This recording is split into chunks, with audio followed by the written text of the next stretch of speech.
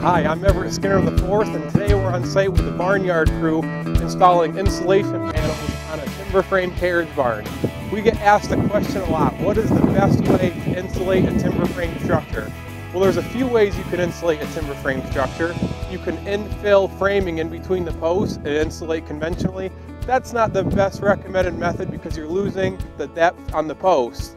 The other option would be to stick frame like a 2x4 or 2x6 wall on the outside of the timber frame. That's a lot of work, that can get costly, but the best way to insulate a timber frame is what we call SIP panels. These SIP panels stand for Structural Insulated Panel. These are pre-cut panels that come delivered to the job site which have plywood on one or two sides with insulation in the middle. So after the timber frame barn gets raised, we always apply what's called the interior layer of pine siding to the frame. This will allow you to see the nailers, the beautiful interior layer of pine siding, and then the SIP panels get installed always on the outside of the frame. The reason SIP panels offer the best insulation is because it's straight insulation in the panels. There's no thermal breaks or stud cavities to break up the insulation. And that way, an R15 SIP panel is equivalent to, say, an R21 conventionally wood frame stud wall. That's impressive. All of our timber frame barns come standard with this authentic 6x8 timber sill. Typically the foundation is 8 inches wide to match the width of the timber sill. Whenever we're using SIP panels, the foundation goes from an 8 inch to a 12 inch wall so the insulation panels can come sit down right on top of the foundation. Let's talk about the typical wall section on a timber frame structure. We have the timber frame structure itself, and then we pre-apply a layer of pine siding, which will be exposed always on the interior. Next, the four inch SIP panel will be installed, and then the finer exterior layer of siding. The huge advantage to the SIP panels is the speed of insulation. The SIP panels arrive to the job site all pre-cut with the window and door openings cut out, and right now we've installed a bead of silicone on the sill plate and the SIP panel gets installed right over the interior layer of siding. As you can see, we pre-installed all of the screws. That's a six inch screw that goes right into the timber frame structure itself.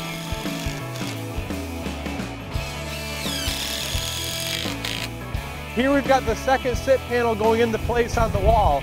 The seams of the SIP panels get connected by plywood splines that are pre-inserted inside the panels. We provide all of the splines, all the screws to install these panels. You can see the panel is routed out for the window openings, pre-cut, so there's no cutting, there's nothing needed to modify the panels.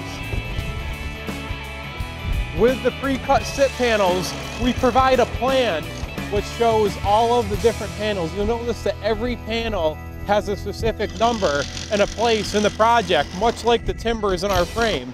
So it makes it very simple on what panels get installed where. You can see the openings are already cut out of all the panels. This is the dormer wall up above with the windows routed out to make for a simple installation.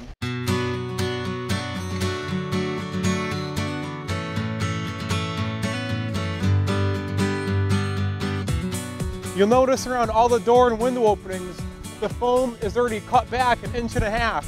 That way a blocking can get installed within the frame to block out all the openings to install doors and windows. Once the wall panels are installed, we drill 5 16 holes between all the seams and fill them with a spray foam to fill all the gaps. Well, today is day two of installing the SIP panels on this timber frame carriage barn. We're back with the Barn Yard crew. On day one yesterday, we got all of the wall panels installed, and today we're gonna be installing the roof panels. These roof panels are made with what's called a jumbo panel. They're eight foot wide by 24 feet long, and that'll make installation easier, less joints to install, and the crane will pick everything up, put it into place.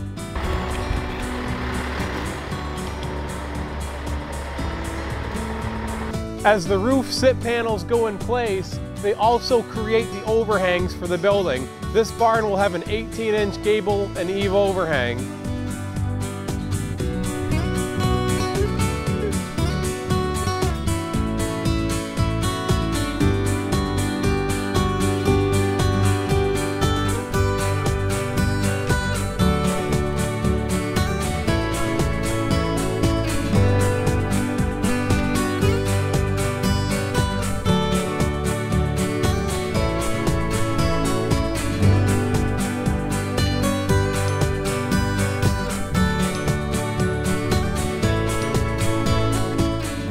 Well, now that you've seen the SIP panels installed, I hope it makes more sense as to why we choose this method of insulation over any of the others.